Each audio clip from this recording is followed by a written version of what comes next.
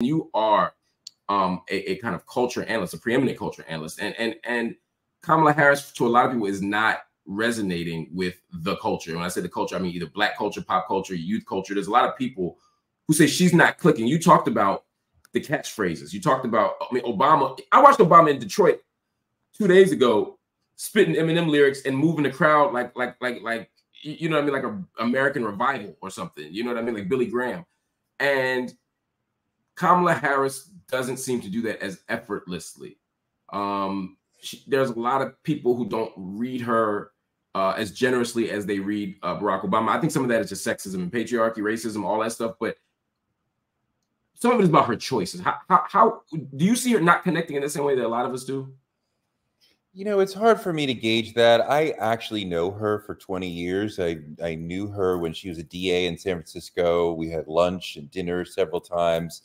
So I've seen the charisma, the the the fun of just sitting and arguing with her and connecting with her. I mean, she is a lawyer in her spirit. So you know, when you're having like a fun conversation, she's like a fun uh, woman to like conversate with. But when you get into an argument about some idea, it's yeah. really fun to like go back and forth with her and really like, you know, try out ideas. And like, you know, she's a great, fun arguer, right? And like an fair arguer, but a fun person.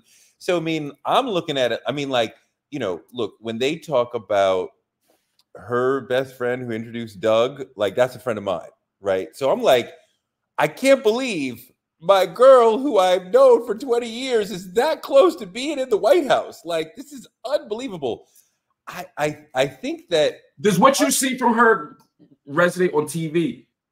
Because people say the same thing about Hillary Clinton. She's amazing, she's wonderful, she's funny, she's charming, but on TV we didn't get that Hillary, except maybe at moments in New Hampshire. Do you, do you are you seeing a, a, a, distance between who you know her to be and what you see on TV? I mean, sometimes I see the Kamala I know. Sometimes I'm like, okay, that was a little stiff. I mean, I think that she is. Uh, uh, I think part of the problem is is the tiny campaign, right? She's this is the shortest campaign we've ever had. Europeans are like, this is how long it's supposed to be. But Americans are used to like a year long campaign. Right. And I think that having like seeing her for a longer period of time, and I know she's vice president, but most Americans do not pay attention to politics all the time. A right. lot of Americans would would could not have uh, identified her voice prior to her becoming the nominee, right? So a lot of people don't don't plug in. I, I think that there is not as much engagement with her by people who are not hardcore politics people. Most of the people had already decided who they're going to vote for before like like when she got in the race, right? Before she got in the race, most of us were baked in. After she got in the race, a lot of us were baked in. Uh, you know, she got some new registrations and her polling went nuts. I think it's come back down to earth a little bit, but you know, I think this is an extraordinary person, great character, great judgment, serious level of experience. We could barely do better than this individual as our president.